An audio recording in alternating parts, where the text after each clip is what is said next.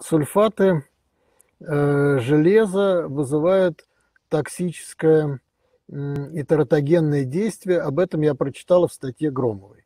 Ну, я, честно говоря, такого гематолога не знаю, э, как и э, гинеколога. Я полез искать статьи Громовой и вдруг внезапно обнаружил, что у нее очень много статей по дефициту железа. Я с этой э, дамой хорошо знаком.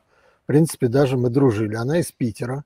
Она специалист по всем вопросам, э, по которым надо написать коммерческую статью. Она э, позиционируется как клинический фармаколог. В принципе, она достаточно грамотный человек, но в отношении принципов я в этом бы засомневался.